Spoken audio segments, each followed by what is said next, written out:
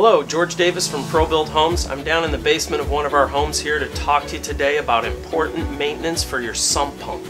Once a month, you should come down to your basement, take the lid off the sump crock, and go down in there and make sure the valve is operating and that the pump is working. This is your insurance system to avoid a flooded basement.